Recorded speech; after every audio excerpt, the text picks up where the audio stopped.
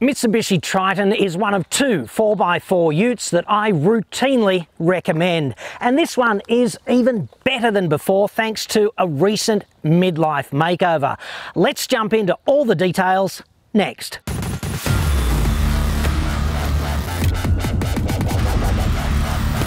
I'm John Cadogan from AutoExpert.com.au, the place where Australian new car buyers save thousands off their next new cars. Hit me up on the website for that.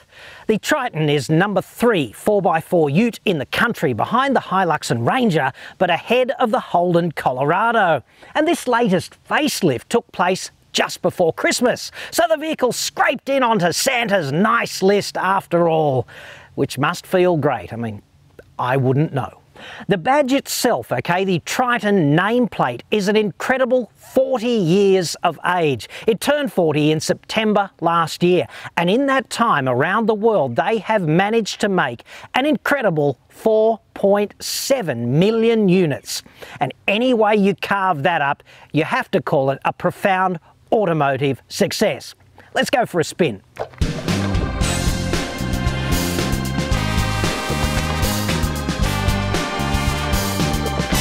The first thing you need to know about the Triton is it has a nice tractable 2.4 litre turbo diesel engine. The headline acts there 133 kilowatts at 3,500 RPM and 430 Newton meters at 2.5. Now, if you understand the relationship between torque and revs, that peak torque spec is about the same as 112 kilowatts at 2.5. So anytime you're above about 1750 or thereabouts, this thing goes pretty strong. And I've got a comment for all of you pub experts out there who from time to time get in the comments feed and opine to me that, ah, oh, mate, she's just wound up a bit too high for a two and a half litre. That's too much. It's not 1976 anymore, okay? And these goalposts that you've put in place mentally, that's about where they are mired, all right? This thing is just fine in comparison with other leading engines in this class and I'd suggest the Mazda 2.2 litre diesel is kind of like that and the Hyundai Kia 2 litre and 2.2 litre diesels they make about the same specific engine power output as well so these criticisms of the size and the output are completely off the reservation. They're totally misplaced. And the differential diagnosis of that, of course, is that there is no epidemic of 2.4 litre diesel Mitsubishi engines in the Triton hmm. Ute failing out there in service. And this thing's been running around in this kind of trim since about 2015 in the current generation of Triton, and it is just fine. So take your criticisms and teleport them back to 1976, where they belong. On the totally good news front for the powertrain, of course, there is a six speed transmission now and not a five speed. So, keeping up with the Joneses, yeah, we've done that. And happily enough, I can report that this six speed auto is really well integrated with the engine, and that would be around town and on the highway. It doesn't hunt around the place the way the recent six speed integration with the D Max does, for example. So, there's that. And if I had to criticise the new gearbox just this much, it would be that around town from time to time when you're slowing down, typically uphill at very low speeds, and the transmission seems to select second from third or even first from second in that really low speed slowing down sort of context, sometimes that shift is perceptible and just this much harsher than maybe it should have been. But aside from that, I've got to say, she's all good.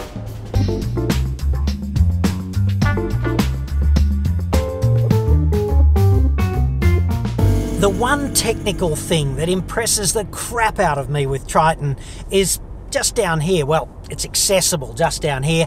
The rotary dial that gets your hands on the Super Select 2 transfer case. And you might go, yeah, rotary four wheel drive selector, so what? To which I would retort, It's not very often that you'll find yourself in a ute that allows you to select four wheel drive mode on a high traction surface. And the reason Super Select 2 allows you to do that is because there's a center differential and you can unlock it, which is absolutely brilliant on a high traction surface. So if you've got old agricultural style four wheel drive system, which you get in most other utes and the lesser Tritons, let's not forget, you can't do this because the front and the rear prop shafts are locked together and they rotate at synchronous speed. So if you're on a high traction surface, you drive around a bend, the front end goes through a different path than the rear end, and if you lock those two shafts together, they operate with an incredible amount of stress relative to one another because of that desire to rotate at different rates, which they can't do. In Super Select 2, with the center diff unlocked, you can absolutely do that. You can do it all day long. You can do it for the life of the vehicle but it's a real advantage in some situations. For example, if you're on an alpine road, middle of winter, high traction surface, she's all good. And then all of a sudden you drive around a bend and you get into one of those crevasses that is in perpetual shade. The temperature's below zero, and all of a sudden you're driving on a bit of black ice. Oops a daisy! Wasn't expecting that that can get very interesting. And in that situation, I'd rather have some of the front end doing the driving as well. Not only is it going to be less interesting, it's also going to be a whole lot safer. And there's situations in the outback like this all the time, right? You'll be on a dirt road and it'll be a good dirt road, lots of traction. In most utes, you're going to have to be in rear wheel drive mode only. It's going to be irresponsible, risking breaking the transmission to engage four wheel drive in that situation. In this thing, no problem. Four wheel drive, center diff unlocked, and then the minute you go around a bend and you encounter that bit of ball bearing gravel right on the apex, thanks a lot, or a bit of mud, or a bit of bull dust, whatever it is that saps traction away from you in that situation, then hey, all of a sudden the front end's doing some of the driving here. You are in a much more stable, safer position, which is absolutely brilliant.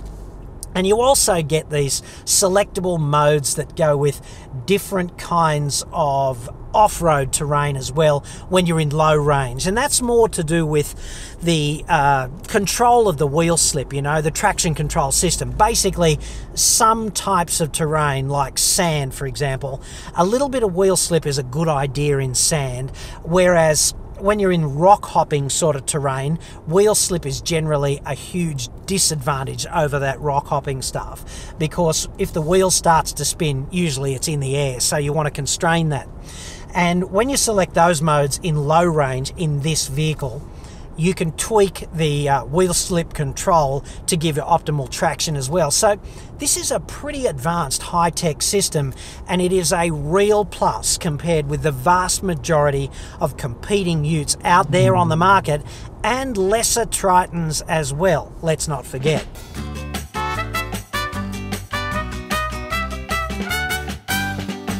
When you talk about performance and refinement and all that stuff, it has to be in context, right?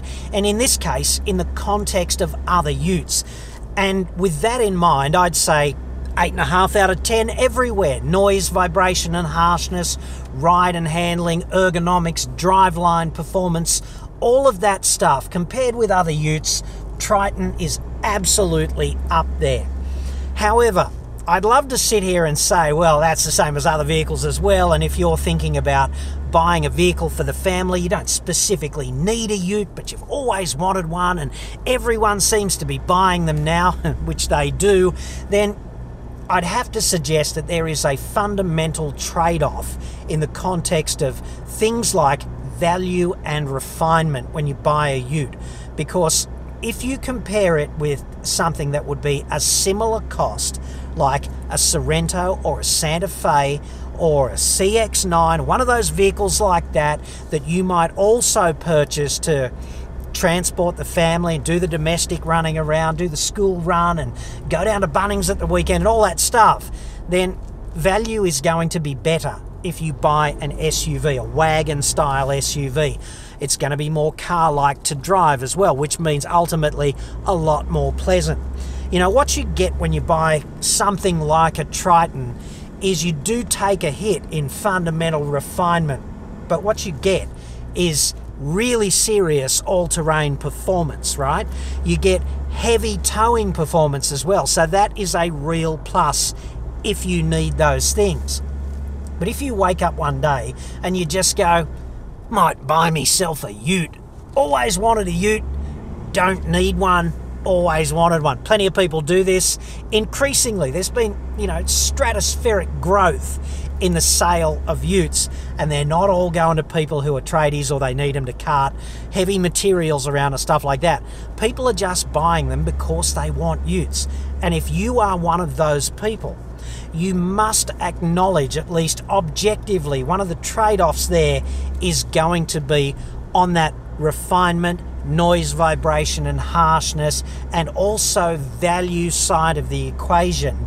It's not going to be as attractive. But hey, if you want a ute, you've always wanted one, and now you finally decided to buy one, all good. Just acknowledge up front that that is the cost of doing this.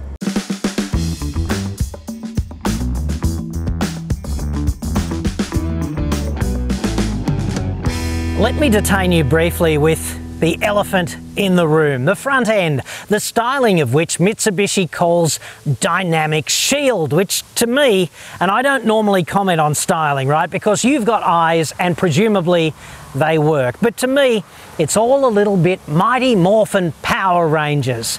And I know I say that like it's a bad thing, but let me just remind you, despite the advancing age of the Power Rangers, they were teenagers when the show kicked off in 1993, so they must be older than the Triton badge now. But let me just remind you, Amy Jo Johnson, pink jumpsuit, yes.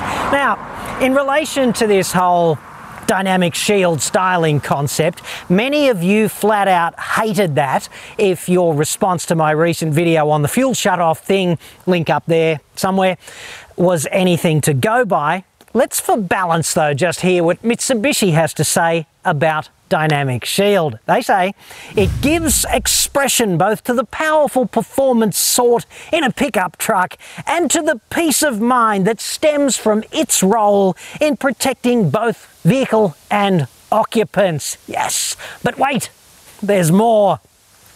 They go on to claim the result is a new look front face that embodies the engineered beyond tough development key phrase through its imposing road presence and sense of dependable reliability.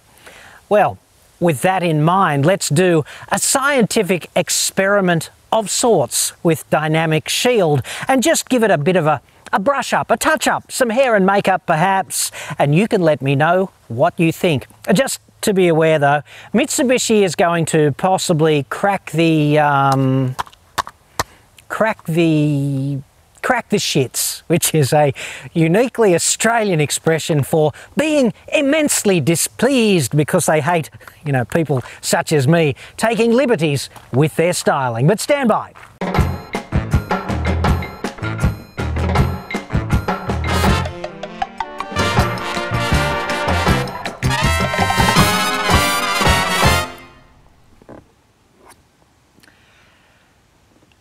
I didn't have particularly high expectations going into this segment in the review, but I must say it's come up slightly better than I had hoped. Who cares what I think though? I mean, styling's so subjective. What matters is what you think. Which exercise is superior? The auto expert, slightly less dynamic shield, what I call attenuated Dynamic Shield or the full-blown Mitsubishi Motors Corporation Mighty Morphin Dynamic Shield. Who got it right? Tell me below. And Christ knows, if I get sufficiently positive response, I might sell it as a kit and start my second YouTube channel, stylingexpert.com.au. I've always wanted to do that. Hit me up on the website for that. Another bucket list item crossed off thanks to the high-tech miracle of YouTube.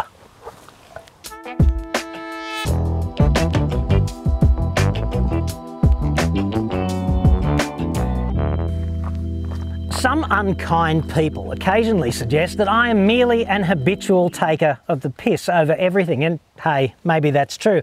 But let's change the tone of conversation down here at the blunt end and cover something far more serious, which would be towing.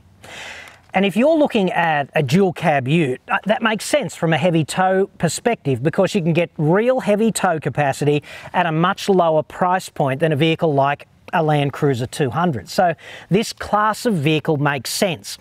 And if you're checking out the specs to try and make some objective determination about which one is better, then you might look at the tow capacities and say Triton 3.1 tonnes.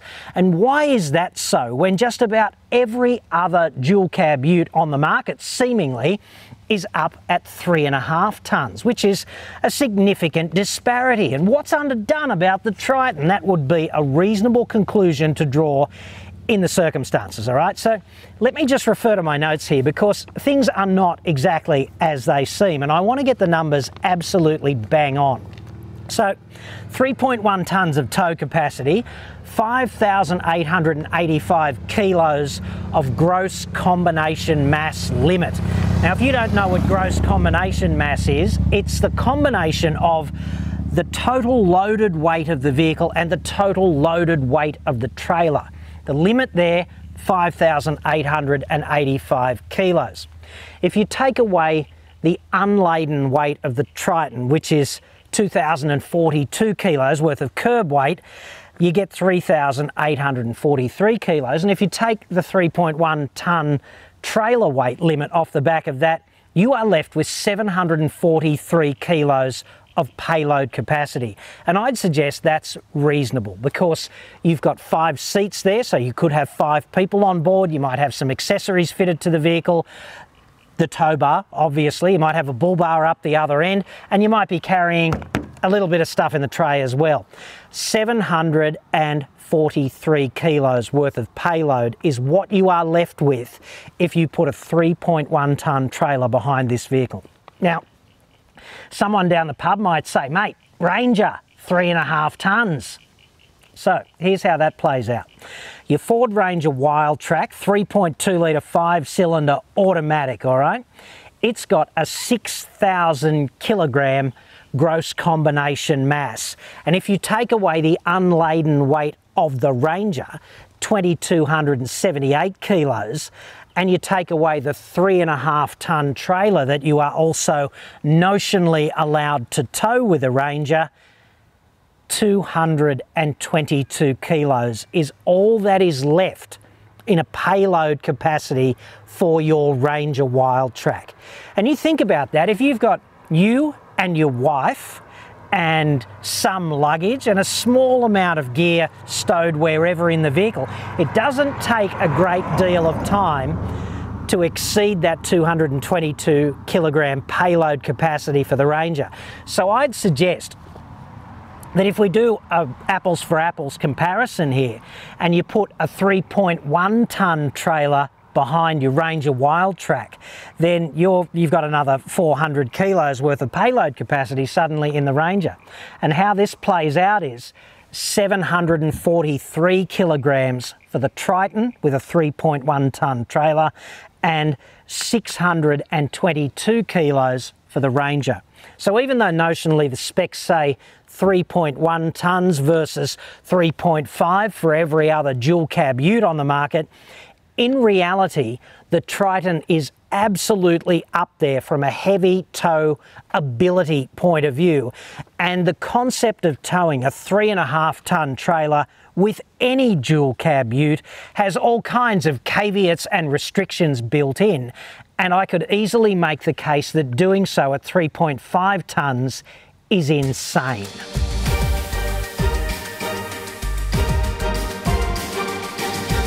Just a few important details now before I let you go. From the domain of pub trivia championships, you need to know that Triton was a Greek god, the messenger of the sea, of course, with the torso of a man and the arse of a fish. so about as plausible as any other god, really, now that I think about it. And obviously a great deal of ouzo was consumed in the determination of all these gods back then, and I'm not sure how it was hijacked later for automotive use. On the plus side, back in the domain of the real world, really good engine and driveline on this vehicle, particularly with that new six speed auto. Super Select 2 is a brilliant transfer case in GLS and GLS Premium. The relative value proposition very strong as well, like 62 grand for a Ford Ranger Wildtrak and just 52 for a Triton GLS Premium. That's both before on-road costs here in Shitsville. And I have to say that 10,000 bucks that you save, it's going to buy you quite a few off-road adventuring accessories if that's why you're procuring a vehicle like this. One of the things we have not yet spoken about is the active safety upgrades for 2019. Mitsubishi calls that ADAS, the driver assistance stuff, right? Which is kind of an add on in the lower grades and standard higher up in the range. They sometimes also call it MyTech as well for Mitsubishi Motors Intuitive Technology. Obviously, they could not find a home for one of the M's in that acronym, but I never saw a marketing dude who was stopped by such a triviality. It really is acronym overload in the safety domain, so brace for impact there in the spec sheets and the brochure. Forward collision, mitigation, blind spot warning, lane change assist, rear cross traffic alert, ultrasonic miss, acceleration, mitigation, systems. Ums, of course. Look, in perspective, this safety tech is great, potentially, and it might save your life or someone else's. And if it does, hey, big tick from me. But the implementation, in my view, is at times fairly crap. And Mitsubishi is not alone here, not by a long shot. It's like the engineers are all being marched around by a bunch of lawyers. There are so many false positive warnings with this stuff that it becomes just intrusive and kind of meaningless, and you just ignore much of it. For example, if I am flying a Black Hawk helicopter and there's some threat like, I don't know, some mother lover, he locks us up with surface to air missile radar, that's bad. I would want to be warned and I would want it to be definite and unequivocal. And I'm sure you would want this too. But if that warning goes off every few minutes for seemingly no good reason, whenever we are airborne in our Black Hawk on every flight, well, it's just not going to be very useful, is it? You're either going to tune it out or turn it off. And that kind of sucks when a bad guy actually does draw a bead upon you. And this is kind of that, right? The tech is good, but the implementation is a bit sucky. The HMI team really needs to work a lot harder to reduce the incidence of false positives. And it's not just the Triton, it's an automotive thing currently. Rant over. Let us talk about the competitors now. Hilux.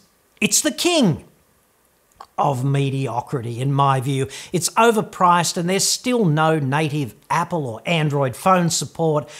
And the recent 2.8 DPF reliability fiasco and the way Toyota handled that, well, that really put a dent in Hilux for me. And if you want to be part of Club Hilux, and it's kind of a big club out there in the bush, go ahead, knock yourself out. Hilux is insanely popular, and you will not have to justify buying it to anyone. And the service and support network is pretty good, the best in the Outback, certainly, so there's that. Ranger, Colorado, and Amarok, okay? If it's confession time, then I must confess to you that I really like the look of all three and the way they drive. I really do, but there's more to ownership than just styling and driving, isn't there? And the grim fact here is that Ford, Holden, and Volkswagen are the three horsemen of the customer support apocalypse. You just have to look at the damning overload of evidence, much of it accessible in just a few clicks on the ACCC's website. I strongly suggest you do that. The only prudent advice I can give you with Ranger Colorado and Amarok is look, but don't touch, like the boss's secretary. That's at least if you know what's good for you. In both cases, like all vehicles have problems, okay, from time to time, but I must say it's kind of nice not to be crucified when they do, and that's the risk. The D-Max, well, it's just like a brand new 10-year-old Colorado. It's the Cougar of Utes, of Colorados, whatever. The support network is pretty tiny and frankly not that enthusiastic if you actually present with a concern. Overhyped legendary truck reliability. I mean, please. Navara, it's a maybe, but the higher end models have this multi link rear end that essentially Mercedes Benz demanded for the X Class platform, which is shared between those vehicles. And that rear end is great if you never carry, carry or cavy, whatever, haul a heavy load or tow anything heavy. But it lets Team Navara down very badly if you do, and the turning circle is comparatively appalling too. Nissan customer support is not quite as bad as Volkswagen, Ford, and Holden, but it's still quite some way from being excellent. And up until recently, a three year warranty. That just changed today as I'm recording this. If you needed evidence of Nissan's post GFC brain damage, the delay there is Exhibit A. Basically, Triton's a well thought out package at a great value price point for a ute. It doesn't give much trouble in service. I get hardly any Triton complaints. And I must say that when I do get the odd owner that a dealer has dropped the ball on historically, Mitsubishi's been pretty good. They've gotten on it and they've fixed the problem. Triton has a great warranty, which is currently seven years thus far for 2019 or 150,000 Ks. So there's that. That's a plus as well. And I also kind of like it how the Triton manages to be popular and successful without making borderline misrepresentative claims about things like its towing prowess. And trust me that 3.1 tonnes is far more realistic than the 3.5 tonne bullshit claims peddled by competitors. So, if you need a ute or if you just want a ute, that's quite okay too. The Triton really does stack up on objective criteria. I recommend that you also test drive a Mazda BT50 for comparison value. It's got slightly more grunt and somewhat less advanced in the driveline, but everything else is pretty much a subjective determination. They're equally attractive, if you ask me. Do let me know also in the comments below if I actually improved the styling of the Triton with a roll of masking tape at the roadside. And if I did, well, aesthetics is probably not going to be an entry in the plus column, is it? Still, it's all eye of the beholder stuff. You might decide that it is actually Mighty Morphin time after all, and if so, I've got some leftover tape if you need it for my patented anemic shield front end conversion, cyan shield, whatever. Amy Jo Johnson's pink jumpsuit is not included, sadly, except, of course, if you're a subscriber, in which case, anything goes. Another excellent reason to smash that subscribe button and click the bell while you're uh, down there. I would really enjoy that. I love that bell. Good luck on the hunt for the right ute. It can be quite an exhausting process. Triton is frankly one of the best choices you can make in this class. That is absolutely certain. I hope this helps. Thanks for watching.